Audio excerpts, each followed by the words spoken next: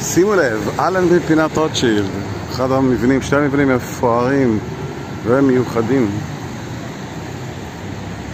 היום זה בית בנין, אבל מלון גנוסר ההיסטורי, היה לו עוד שם, וכאן ממול בית לדרברג, יצחק לדרברג, יבואן של כלים סניטריים, היה לו אפילו חנות בשוק הפשפשים ביפו, ואז מתפתח גם עם תל אביב. כמו שאפשר לראות. וואו של מבנה,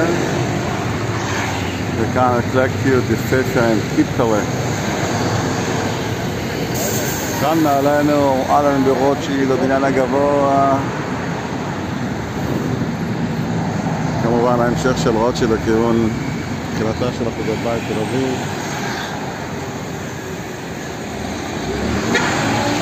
ועוד ועוד.